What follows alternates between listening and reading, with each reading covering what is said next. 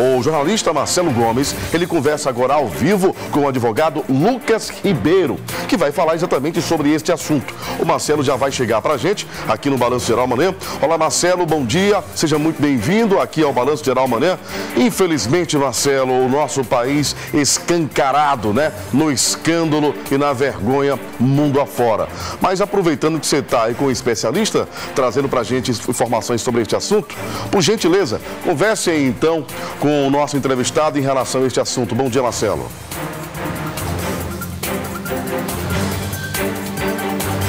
Bom dia, Chico Filho, e a você de casa que acompanha o Balanço Geral amanhã nesta segunda-feira.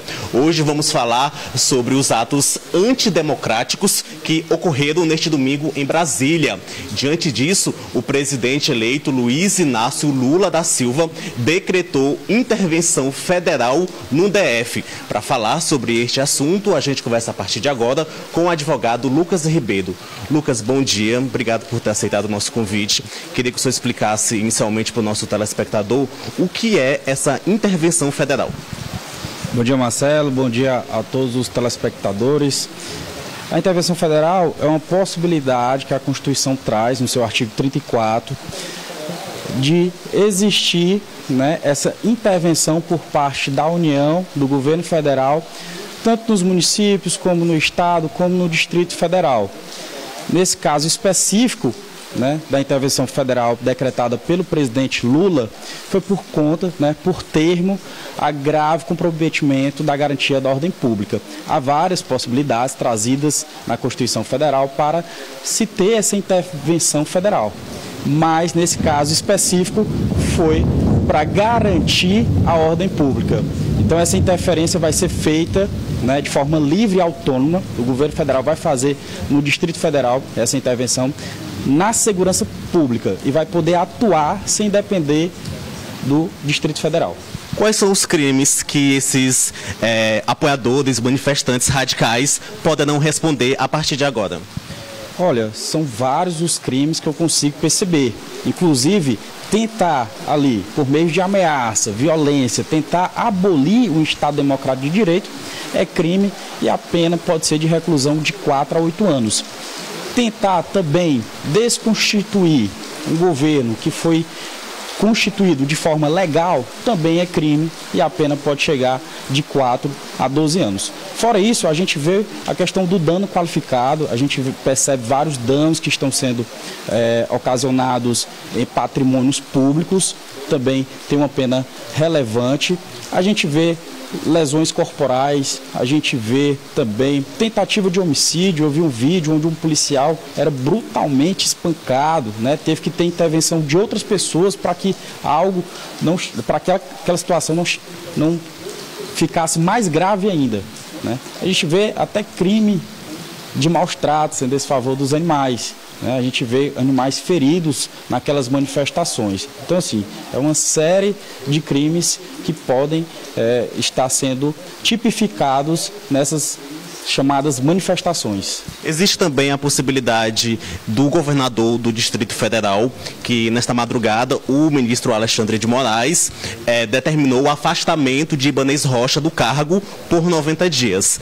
Existe a possibilidade do governador e também o ex-secretário de Segurança, o Anderson Torres, que foi exonerado ainda ontem, também serem penalizados por conta desses atos?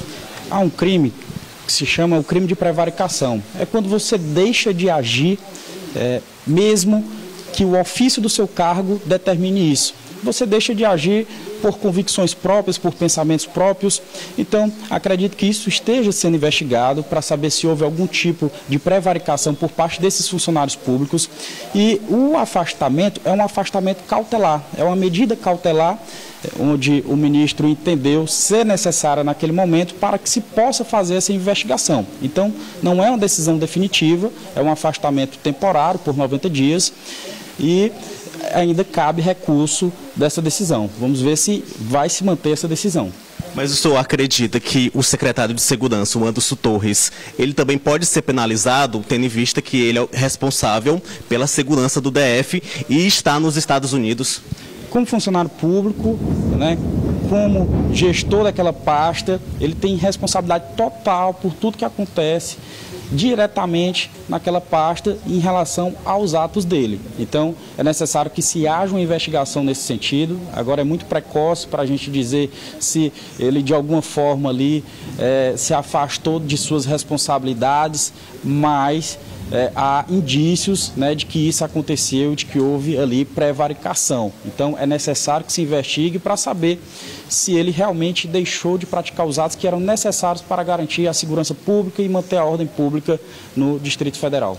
Certo, obrigado Lucas pelos seus esclarecimentos. Chico Filho, é importante lembrar que, segundo o último boletim divulgado da Polícia Civil, até na noite deste domingo, mais de 300 pessoas já foram presas por conta aí desses atos antidemocráticos. Na madrugada desta segunda-feira, o ministro Alexandre de Moraes, do Supremo Tribunal Federal, ordenou aí o afastamento de Ibanês Rocha do cargo de governador do DF por 90 dias. Ainda ontem, a AGU também pediu a prisão do ex-secretário de Segurança do DF, que é o Anderson Torres, que está no, nos Estados Unidos. A gente vai seguir acompanhando todo esse caso e é claro que o nosso telespectador pode conferir tudo aqui na TV Antena 10, na Record TV e também acessando o nosso site a10mais.com. Lembrar que a cobertura completa deste caso você confere durante todo o dia